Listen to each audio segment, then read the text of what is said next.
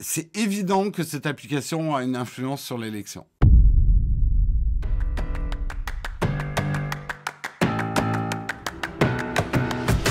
Pourquoi Elise a disparu du Google Play Store?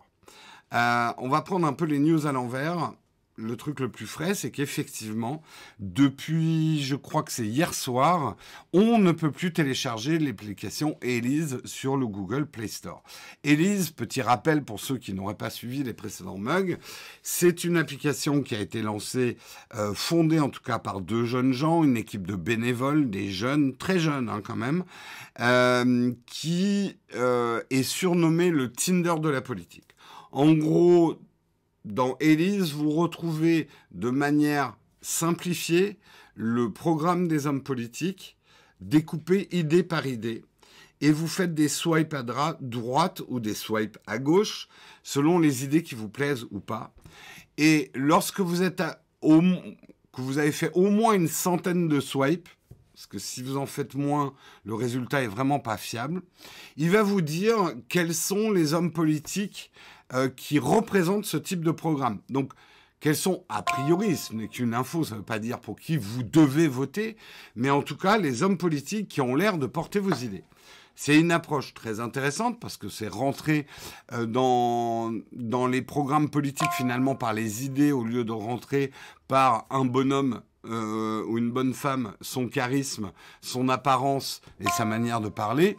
On rentre par les idées. A priori, ce qui semble être une bonne idée, notamment pour une génération plus jeune qui a tendance à se désintéresser de plus en plus de la politique. Euh, je ne vais pas vous refaire tout le déroulé, mais à partir de là, il s'est passé plusieurs choses. D'abord, un succès immense, plus d'un million de téléchargements actuellement. Euh, beaucoup de buzz. Nous, on en a parlé bah, déjà il y a deux semaines euh, avec l'émission avec Samuel Etienne.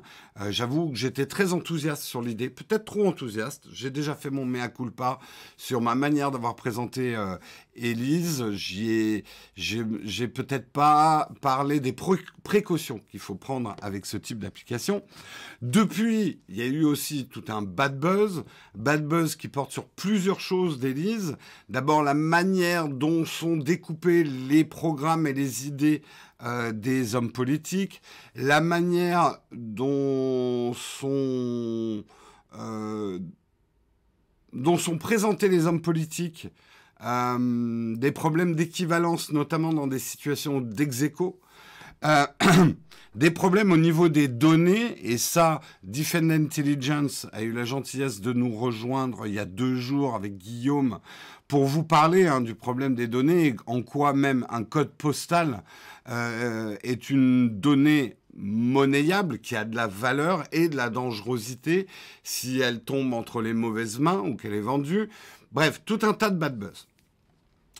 Euh, ce qui s'est passé, et euh, je vous invite à le regarder, puisque d'abord l'émission est très bien faite, hein, Hugo décrypte, euh, son émission Mashup, qui est sur Twitch. il a invité un des fondateurs de, de l'application. J'essaie de retrouver leurs deux noms parce que je ne les ai pas appris par cœur. Ah, il y a François-Marie, mais celui qui a reçu Hugo... C'est, c'est, c'est, mince, je l'ai pas, je l'ai pas, je l'ai pas. Je vais le trouver. Quelqu'un a le nom du deuxième fondateur. Classement. Grégoire euh, Cascara. Euh, qui est venu donc dans l'émission euh, d'Hugo Décrypte pour expliquer un certain nombre de choses et surtout pour faire deux grosses annonces par rapport à Elise, hyper importantes, et je pense euh, plutôt bon move, même très bon move. D'abord, suite aux polémiques par rapport euh, aux données collectées, sont les données euh, de code postal, d'âge et de sexe, ils ont décidé de détruire cette base de données et également de rendre leur code open source pour que tout le monde puisse checker leur code. En prévenant que leur code était probablement pas un code hyper propre parce qu'ils ont développé ça extrêmement vite avec une équipe de bénévoles, euh, mais ils l'ont rendu quand même open source. Ce qui demande, et j'ai demandé à Guillaume de rendre un code open source. Euh, ils l'ont fait assez vite. Euh, c'est plutôt un bon move, c'est ce que beaucoup demandaient. Si vous, vous écoutez euh, ce que nous disait Defend Intelligence, c'est effectivement, tu, peux promettre toutes les choses de la Terre, Hein, et ça, on en a déjà beaucoup parlé avec Apple, qui nous promet une protection de la vie privée. Mais tant qu'Apple ne sera pas open source, on ne peut pas vérifier par nous-mêmes. Donc, euh, après, tu peux croire ou ne pas croire quelqu'un sur parole, mais tant que tu ne peux pas vérifier, tu n'en as pas la preuve. Là, maintenant, leur code est open source. Euh, vous avez compris, les jeunes dev d'app, faut pas essayer, c'est mal. On va revenir là-dessus, justement. Il y a un fond de vérité dans ce que tu dis, euh. Euh, dans, l'ironie de, tes propos.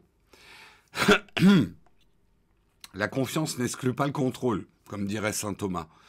Euh, pour ceux qui ont la ref. Euh, saint Thomas disait La confiance n'exclut pas le contrôle.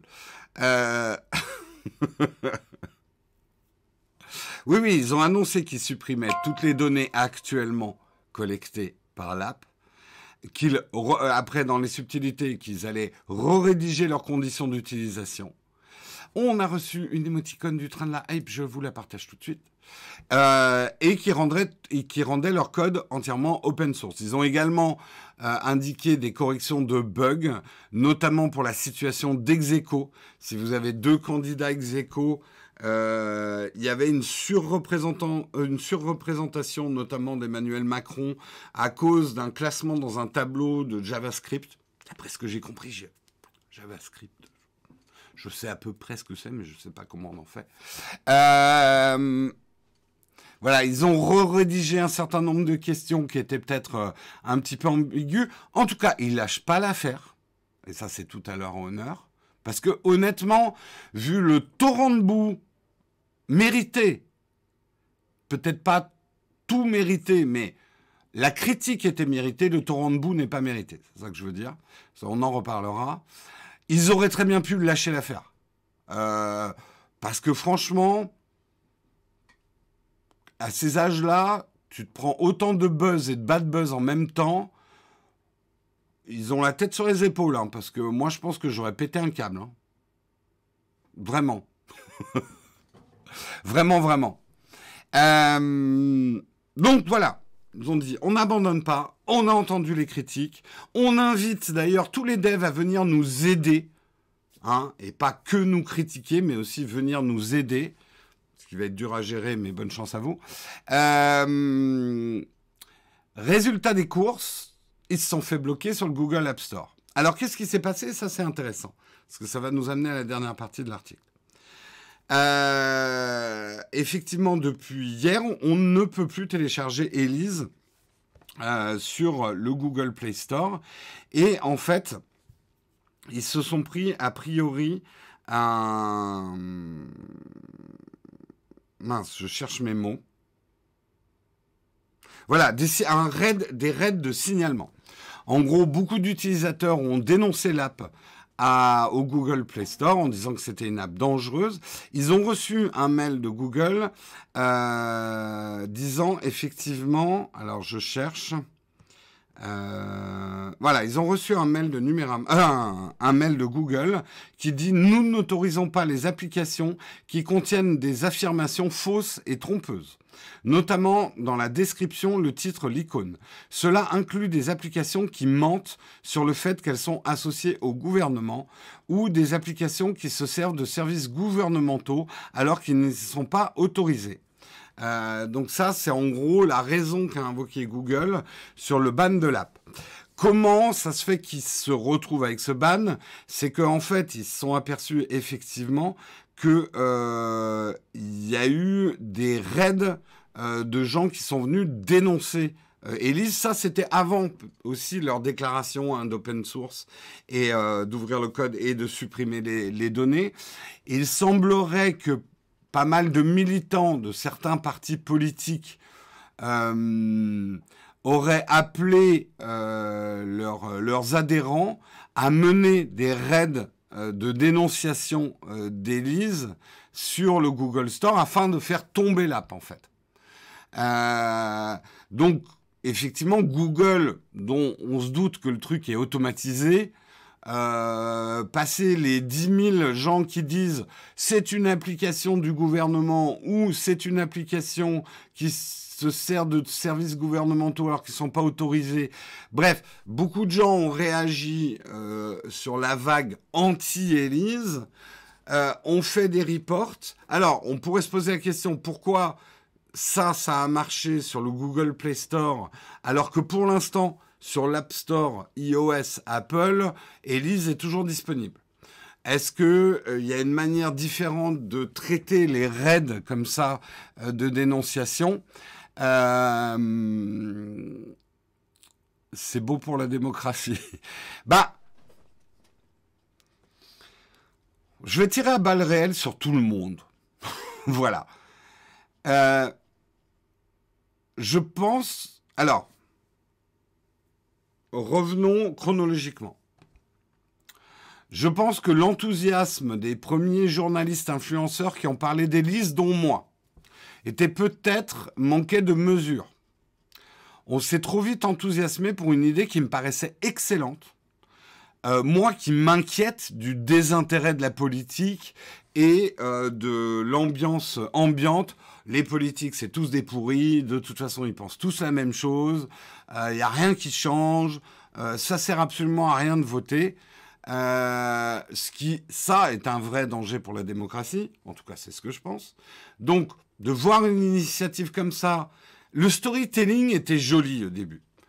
des jeunes qui proposaient leur application en disant on n'est pas affilié à des partis politiques, on fait pas ça pour l'argent, on est une assoce. L'histoire était belle. À raconter, je suis tombé dans le panneau, j'ai raconté la belle histoire, sans dire, oulala, là là, attention, est-ce qu'on est allé voir comment euh, ils utilisent tout ça? Est-ce qu'ils mentent? Est-ce qu'ils disent la vérité? J'aurais dû prendre beaucoup plus de précautions. Voilà. Mm. Ensuite, deuxième vague. Des gens, et notamment des gens qui sont euh, dans euh, la sécurité informatique, euh, les bases de données, ont justement fait le ⁇ Oh là là Ouais, ça a l'air chouette, c'est une belle histoire, cette appli, mais il y a des problèmes. Il y a des problèmes sur où vont les données, comment elles sont gérées, les conditions euh, d'utilisation ne sont pas claires, ils disent qu'ils peuvent vendre les données, what the fuck, oui, euh, même un code postal, ça a de la valeur et de la dangerosité, ça peut révéler des choses sur vous. Là-dessus, des hommes politiques aussi se sont emparés du buzz d'Élise en disant c'est bizarre quand même quand euh, il y a deux hommes politiques qui sont ex c'est toujours un peu Macron qui est mis en avant. Bref, un certain nombre de problèmes ont été révélés, ce qui est très bien. Derrière, comme d'habitude, quand on parle de problèmes, euh, tu as euh, des parasites, hein, des parasites en recherche de notoriété, et vous connaissez bien le phénomène dont je parle, qui sont venus surenchérir là-dessus politiser même le bad buzz, hein. Oui, ça se voit que c'est une appli de droite ou de quoi ou de machin. Et puis là, les deux jeunes, quand on creuse un peu, les mecs sont déjà orientés. Euh, c'est un truc manipulatoire, c'est hyper dangereux. Ça y est, c'est Cambridge Analytica. Ça, on a beaucoup entendu. Ça y est, c'est notre Cambridge Analytica à nous. Je modérerai un petit peu cette critique. Euh, bref, on est parti dans l'hystérie euh, euh, inverse. Je, concède qu'il y a eu une certaine hystérie positive au début, qui a contribué à populariser l'app. La contre-hystérie négative aussi, est aussi par, partie en spirale, jusqu'à arriver au résultat où, effectivement, des militants ont organisé des raids pour bloquer Élise. Voilà, c'est là où je dis je tire, je tire à balles réelles sur tout le monde. Il y en a sur qui j'ai pas tiré, c'est ceux qui ont lancé l'app. Alignez-vous. ok, être jeune n'excuse pas tout. Je suis assez d'accord avec ça. Euh, tu prends politique tu prends data et tu prends argent. Tu as trois tonneaux de poudre et toi, tu t'amuses à agiter ta torche au milieu de tout ça. Ouais, ouais, ouais, ouais, je vais faire un Tinder de la politique. C'est très explosif ce que vous avez fait, les gars. Je pense pas que vous avez réalisé, et c'est normal, ils pensaient pas avoir ce succès-là. Très honnêtement, euh, ils pensaient pas avoir ce succès-là. Euh, quand on écoute euh, justement celui dont je parlais tout à l'heure, qui parle très bien d'ailleurs. Ce mec, je pense qu'il ira très loin. S'il arrive à pas disparaître dans le torrent de boue, euh, bon, tu sens le mec qui a fait des grandes écoles, mais, euh, mais tant mieux, il en faut. Euh, tant qu'il ne prenne pas les autres de haut. ah, je, perds son nom à chaque fois. Il y a François-Marie. Ah, j'ai encore perdu ton nom, je suis désolé. Je suis désolé. Euh, ça va arriver, ça va arriver. Je vais le retrouver dans l'article. Ah Je n'arrive pas à le retrouver dans l'article. Grégoire Cascara. Voilà. Merci. Euh, Grégoire Cascara. Euh, ce serait sympa de les interviewer dans le mug. Et les pauvres, ils sont ultra sollicités. On sent d'ailleurs que euh, ont été très cool d'avoir choisi l'émission du Go Decrypt. Je pense que c'était assez malin. Euh, mais je pense que peut-être qu'on les aura un jour, dans six mois, un an. Mais là, ils doivent être appelés par toutes les télés, toutes les radios du monde. Voilà. En tout cas, voilà, un garçon brillant, là, quand même la tête sur les épaules. Euh, je pense qu'ils sont en train de se rendre compte de ce qu'ils ont fait. Euh, toucher à la politique, aux data en même temps, dans l'ambiance délétère actuelle, où on s'indigne très vite et pour tout, euh, ouais, ils ont agité une torche sur des tonneaux de poudre, hein. c'est clair. C'est clair, c'est clair. Alors, ils ont redéfini effectivement le côté argent, euh, le modèle économique. Je pense qu'ils ont pensé. Alors, c'est une association. Donc, leur but premier, et ça je les crois, après c'est votre liberté, n'était pas de faire de l'argent. Ou en tout cas, peut-être faire de l'argent pour rentabiliser, puisque c'est une association. Le but d'une assoce, c'est quand même de rentrer assez d'argent pour rentabiliser, payer les frais, quoi, en gros. Normalement, c'est le but d'une association. Le problème, c'est qu'ils n'ont pas passé assez de temps, je pense, sur les conditions d'utilisation. Ce que nous explique justement Grégoire, c'est que leur but n'était pas de vendre aux partis politiques, mais et de vendre ces données anonymisées d'après eux, mais on sait que c'est plus compliqué que ça. Mais en gros, ils ne demandaient pas votre nom et tout. Hein. C'était sexe, euh, âge et euh, code postal de vendre, ou en tout cas de travailler avec des instituts de sondage qui auraient éventuellement été prêts à payer euh, pour avoir ce, data-là, pour rentabiliser leur app. Ils ont tout remis à plat hein, depuis hier. Euh, a priori, de toute façon, j'ai envie de leur dire, si jamais ils écoutent ça, vous avez plus besoin d'essayer de rentrer de l'argent par Elise je crois que vous avez atteint un niveau de notoriété. En gros, vous pouvez développer d'autres business. Euh, je, pense que maintenant, si vous devez gagner de l'argent euh, parce que vous êtes une association, il y a d'autres moyens de le faire que d'essayer de rentabiliser une quelconque base de données euh, dans l'application.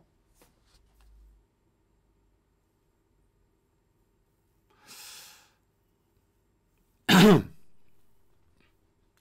une association ne doit pas, en théorie, faire des bénéfices. Hein. Une association doit être rentable.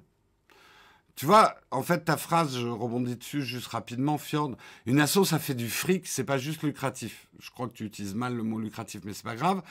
Du fric. Euh, déjà, en mettant le mot fric, es dans le péjoratif. Moi, je suis en train de te dire, une assoce doit déjà être rentable. Une assoce ne peut pas perdre de l'argent à vitam aeternam. Hein. Voilà. Leur idée n'était pas de mettre de la pub non plus hein, dans l'application. Hein. Oui, il existe des associations à but lucratif, ouais. Euh, Voilà, je terminerai parce que sinon on peut y passer des heures. Je vous invite d'ailleurs à aller lire euh, leur communiqué de presse. Bien rédigé, c'est clair. Ils ont écouté les critiques. Ils ont réagi extrêmement rapidement et plutôt positivement aux critiques. J'ai envie de les croire. Je suis peut-être naïf, mais j'ai envie de croire François-Marie et, euh, Grégoire Cascarade, dont j'ai écorché le nom et oublié, encore désolé. J'ai envie de les croire. J'ai envie de les croire parce que ça me plaît bien ce qu'ils ont fait. Oui, ils sont peut-être politisés, mais à la limite, euh, moi, j'ai envie de dire dans beaucoup de réactions que j'ai lues, et là je suis allé lire un petit peu ce matin, comme maintenant leur code est, open source, des gens qui s'y connaissent en code, les critiques, critiquent leur code. Ils ont dit eux-mêmes que leur code n'était pas super propre, euh, puisqu'ils ont développé ça assez vite. Les gens cherchent à les enfoncer. J'y décèle quand même une once de jalousie. Hein, je je dis pas que tout est rose, je dis pas que tout est bien. Je pense que ces deux jeunes doivent maintenant extrêmement bien s'entourer, travailler avec la CNIL, euh, rendre leur opération la plus transparente possible. Euh, mais ça reste pour moi une bonne idée. Je suis désolé, ça reste pour moi une bonne idée. Plutôt que de ronchonner en son coin, la politique c'est de la merde. Voilà.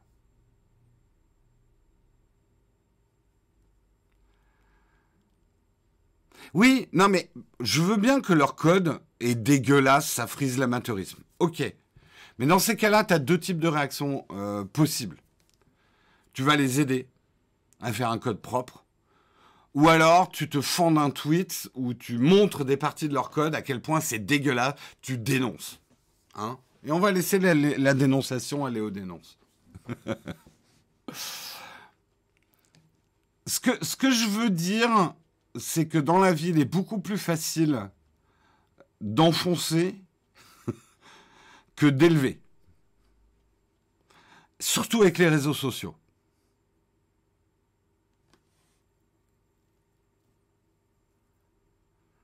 Je veux dire, si tu t'arrêtes à la dénonciation, tu n'es pas dans la critique positive.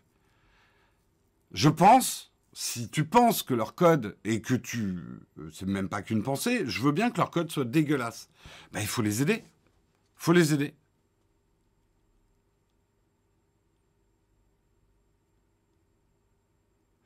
En fait, quand je dis que j'ai décèle une once de jalousie, c'est effectivement quand tu vois des réactions du type Mais comment on peut réussir à faire un million de téléchargements avec un code aussi dégueulasse? Ben, Avec une bonne idée. Le code, c'est hyper important, mais le meilleur code du monde ne remplacera pas une bonne idée. Voilà. Après, je suis d'accord qu'une bonne idée avec un code dégueulasse, faut rectifier le tir.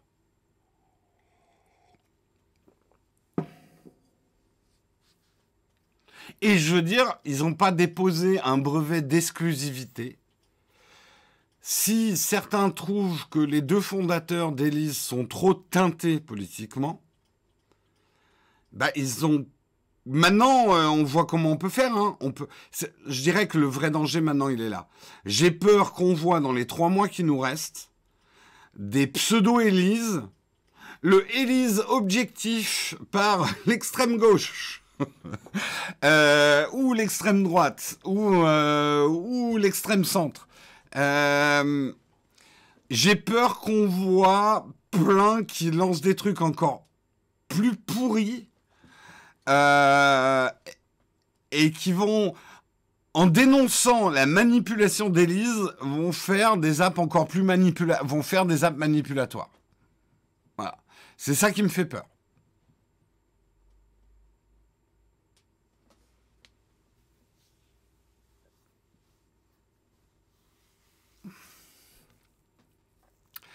Euh,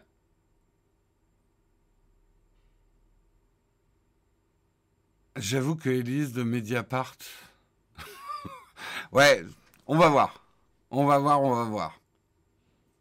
Après, effectivement, euh, moi je m'y connais pas en code, donc je peux pas vous dire en quoi c'est un code dégueulasse, hein, mais. Bien sûr, après, Sem, tu as tout à fait raison. Si vous aimez pas l'idée, si vous la jugez dangereuse, euh, vous êtes euh, libre de l'utiliser ou pas. On peut pas s'arrêter à ça, parce qu'effectivement, maintenant qu'elle a été téléchargée un million de fois, des gens l'ont utilisée. C'est évident que cette application a une influence sur l'élection. C'est évident.